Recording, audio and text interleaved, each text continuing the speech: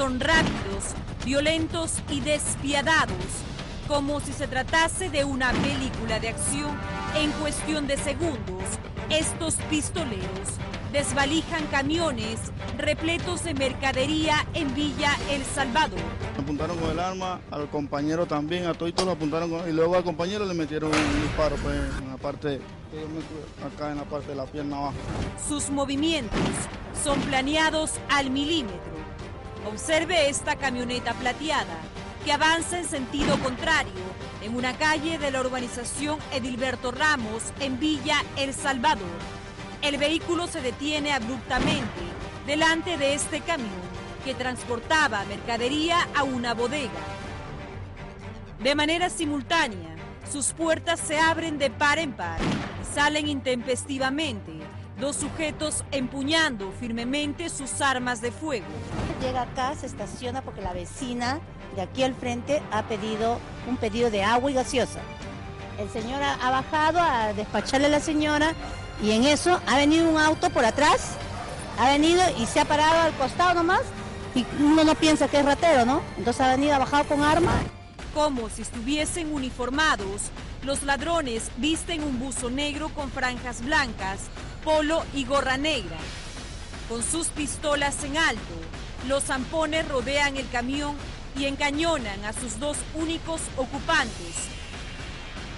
Uno de ellos abre la puerta del conductor y con suma violencia saca al chofer de la cabina y lo obliga a tirarse boca abajo sobre el piso. Mientras tanto, su cómplice hace lo suyo con el copiloto. El aterrado trabajador Solo atina a bajar del vehículo con las manos en alto, mientras que su captor lo lleva a recostarse al lado del chofer. Viene un auto por detrás y bajan dos. Viene acá y le, apunta al chofer con su pistola. De ahí va al otro lado a, los, a, los, ayudantes que tienen los, los camioneros de gaseosa y le dicen, este es un asalto. ¿Qué vas a hacer? Lo único que haces es ya dejarte robar porque si no te matan. Los ladrones regresan a la cabina del camión y salen con una bolsa repleta de dinero, que era lo acumulado de la venta de la mercadería. No vienen por la mercadería, sino vienen por el dinero. Ese es el objetivo para ellos, es el dinero. Ellos reparten a las bodegas y de ahí les dan un, dinero, pues el monto de la mercadería que compran. ¿Y eso es lo que buscan ellos? Eso es lo que buscan, pero nosotros tenemos acá este, caja de seguridad. Cada vez son más frecuentes y violentos los robos a camiones que transportan mercadería a tiendas y bodegas en Villa El Salvador. Acá al chico le robaron la vez pasada, hace dos semanas, y al chofer lo balearon.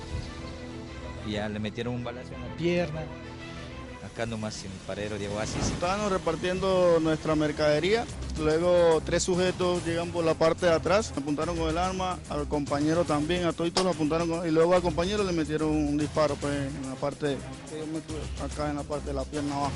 No solo tienen en la mira camiones, sino también modernas camionetas, como este vehículo de lunas polarizadas, estacionado en la avenida Pachacútec, en Villa El Salvador era las 4 y 50 de la tarde. Observe a estos dos motociclistas que se detienen estratégicamente muy cerca de su objetivo. Uno de los ladrones, con una pistola en la mano y un casco oscuro, salta de la moto y abre violentamente la puerta de esta camioneta con lunas polarizadas. Durante 10 interminables segundos, el delincuente amenaza al chofer y parece forcejear con el copiloto. Con el dinero, celulares y otros objetos de valor de sus víctimas, el ampón sale corriendo y sube a la moto, donde lo esperaba su cómplice. Luego huyen como sin nada. No solo la basura se desborda en Villa El Salvador, sino también la delincuencia. Siempre pasan los robos, siempre. Eso ya es como pan de, cada día. Vienen con armas, fuera sin arma, pues ahora es con arma. Ya tú te haces, dejarte robar nomás porque si no, te matan. Pues. Acá asaltan demasiado, asaltan en el día y en la noche. Por ejemplo, en esa tranquera que hay ahí, siempre para este derramado sangre, porque en la noche asaltan, ya no se puede ni salir. Temerosos e impotentes ante el flagelo de la inseguridad, los vecinos tienen que vivir encerrados ante la indiferencia de las autoridades.